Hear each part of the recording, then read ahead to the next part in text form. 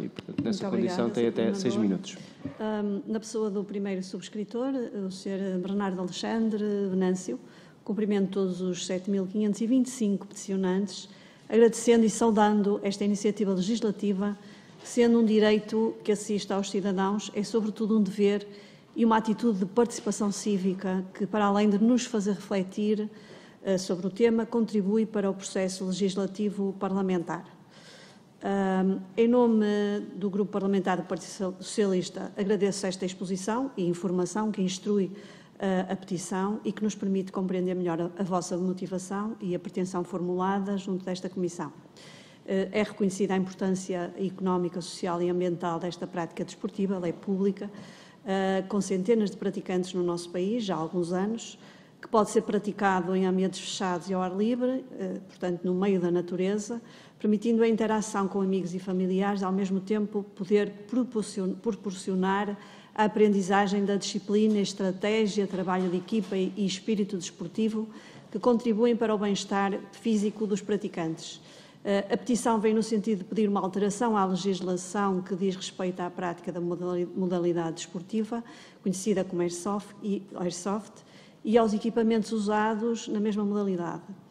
Conhecidos no regime jurídico de armas e munições como reproduções de armas de fogo para práticas recreativas, solicitam ainda a criação de um novo eh, regime jurídico que contemple a aquisição, venda, aluguer e uso de reprodução de armas de fogo para práticas recreativas, sem as atuais restrições que entendem ser únicas em Portugal. Os peticionantes afirmam ainda que, apesar de ser pacífica a regulamentação da atividade, demonstram o seu desagrado na interpretação das regras e leis e aplicação pelas entidades fiscalizadoras. A crescer alertam que a obrigação de pinturas fluorescentes, o que cria limitações a vários níveis, como nos eh, veio aqui precisamente demonstrar, e relativamente a este pedido formulado, o Grupo Parlamentar do Partido Socialista eh, certamente irá acompanhar este assunto dentro dos poderes que lhe são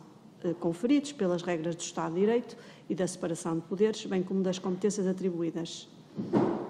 Sendo certo que na União Europeia, a União Europeia promove uma harmonização do direito comunitário e da aplicação uniforme ao direito interno dos Estados-membros, no sentido de facilitar as suas relações jurídicas, garantindo desta forma os princípios gerais do direito, como a segurança jurídica, a estabilidade, a previsibilidade, a transparência, entre outros, que fortalecem os valores europeus, Portugal, sendo um Estado-membro da União Europeia, é como tal, eh, sendo o, o uh, pertencendo à União Europeia, deve precisamente promover esta harmonização legal.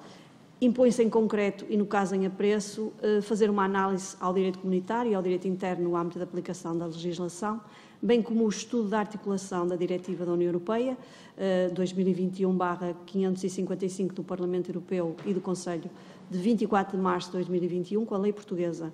Pensamos que esta articulação será, portanto, o caminho a percorrer. Este será o caminho que nós, eh, nesta Comissão, poderemos eventualmente eh, percorrer para dar, tentar dar solução às vossas pretensões. Por último, nesta sede, eh, pretende-se, sobretudo, dar voz aos peticionários, receber os vossos contributos, como bem o fizeram, e que mais uma vez agradecemos, e para, todos, eh, para que todos possamos refletir e ir de encontro eh, às respostas para estas preocupações que nos foram aqui adiantadas, muito concretamente e muito especificamente, e eh, relativamente a essa situação estaremos aqui disponíveis para trabalhar uma solução de consenso e legal e de alguma forma que respeite toda, toda a legalidade, toda a envolvência nesta, nesta, nesta questão. Obrigada.